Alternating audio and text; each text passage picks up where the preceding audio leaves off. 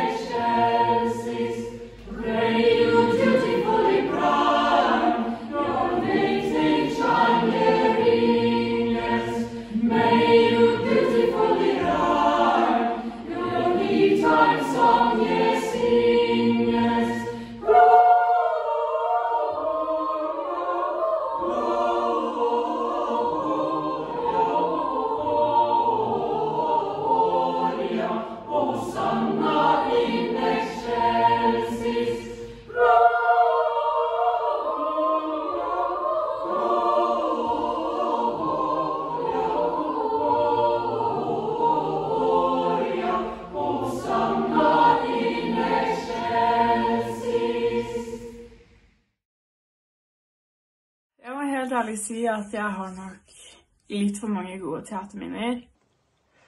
Jeg må si at mitt beste teaterminne er Intensiv i fjor. Mitt beste teaterminne er nok premieren i fjor. Etterpå, da produksjonen og skuespillerne og eh, musikerne sto på scenen og ga hverandre klemmer. Dette var rett før korona. Så mange nye vennskap som ble lagd, og jeg har aldri følt meg såpass inkludert noe som helst sted. Jeg synes noe av det jeg syns er morsomst hvert år, er å se scenesjefene stresse over dørene. Jeg beklager, men jeg syns det er kjempegøy. Og vi er Seno. Eh, vi ønsker dere en god jul. Og et godt nyttår. Vi håper dere spiser masse god mat og har det kjempekoselig i ferien og holder koronaavstand. Sånn. Ok, Ok. ja, filmer du? Jeg filmer nå. Hva er det vi ønsker oss mest for 2021, mamma? Fred på jord. Ikke helt.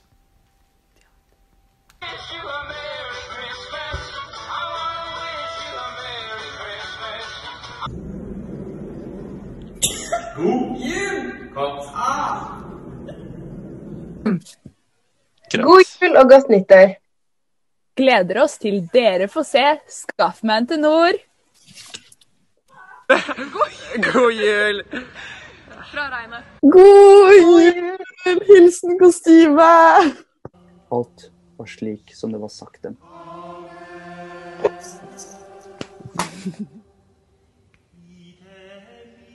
Det finnes tre typer mennesker her i verden. De som kan telle, og de som ikke kan telle. God jul. God jul. Merry Christmas. Jeg vil ønske dere en god jul fra Innspiss. Ha en fin ferie! God jul! Jeg håper vi får til noe teater i år. Og så ønsker jeg alle sammen en kjempe, kjempegod jul og et fantastisk nyttår. Og så gleder jeg meg veldig til å fikse teatret med dere. Og med det så sier jeg god jul og godt nyttår. La oss nå, alle sammen, minnes om hvorfor vi feirer jul.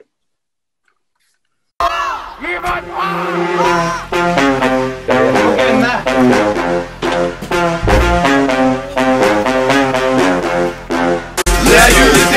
goes up. Then you the go, goes up. You the go, goes up. One, two, three, four. You.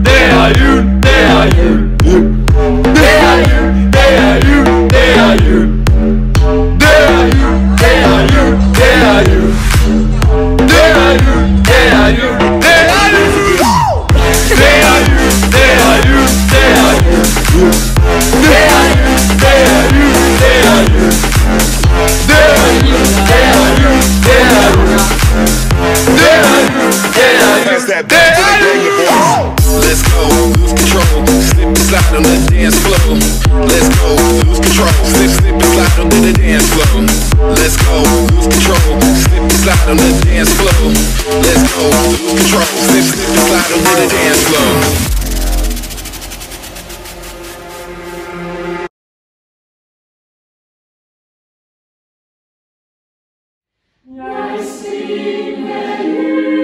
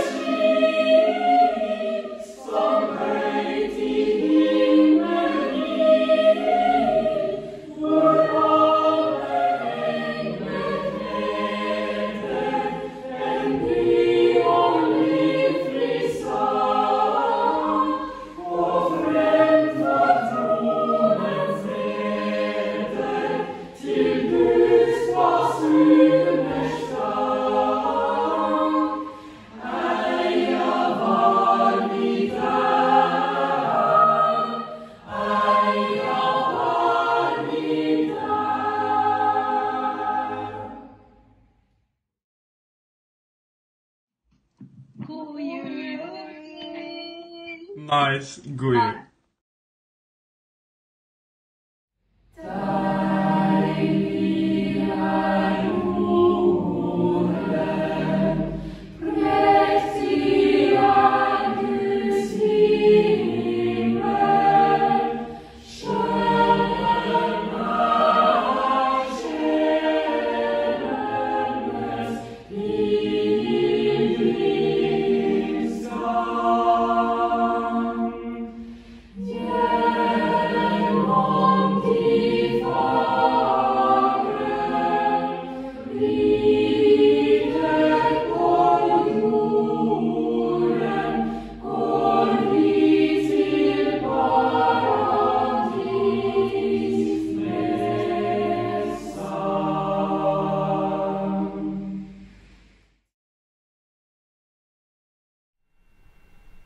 Kjære elever.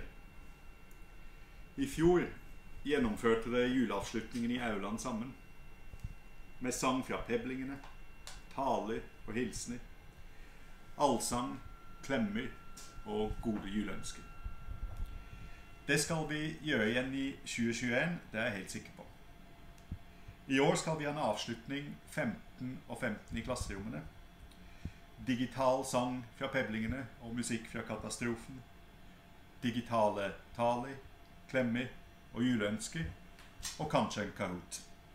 Det er en ny form, men også verdifullt. Jeg kunne hatt en lang tale om situasjonen vi er inne i. En blanding av nyttårstale der man oppsummerer året som er gått, og litt Churchill der man maner til samhold og utholdenhet. Blood, sweat, toil and tears. Det er lys i enden av tunnelen. Nå må vi alle stå sammen. Slike taler hadde jeg hørt nok av i 2020, og jeg har lyst til å sende deg en hilsen med et litt annet innhold. Det jeg har til felles med førsteklassingene her, er at jeg begynte her 1. august. Jeg var like spent som dem. Jeg hadde oppfatninger, eller kall det gjerne misoppfatninger, om elevene på Katta, lærerne og hvordan det skulle være å være del av skolesamfunnet her.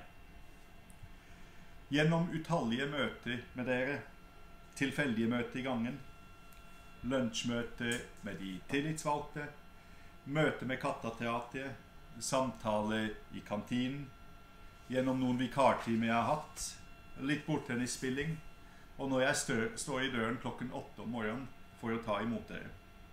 Ja, gjennom disse møtene så har jeg lært ganske mye om Katta-eleven. Hvem er dere egentlig? Og det er tre ting jeg har lyst til å løfte frem. For det første, dere representerer hele byen. I en engelsktime jeg var vikar i, observerte jeg gode diskusjoner om politiske temaer mellom elever fra Risskole, Granstangen, Marienlyst, Jordal, Majorstuen, Bjørnsletta, Holmlia, Skøyenåsen og Skullerud. Det er utrolig viktig i denne delte byen at vi skaper sosiale og faglige møter mellom elever med svært forskjellig bakgrunn. Når dere i fremtiden skal bo i denne byen, skal jobbe her og skal oppdra barn her, vil dere ha en helt enestående kompetanse gjennom å være Katta-elev. Katta-elev er ikke noe du er ferdig med når du går ut av tredje klasse. Det er noe du skal være hele livet.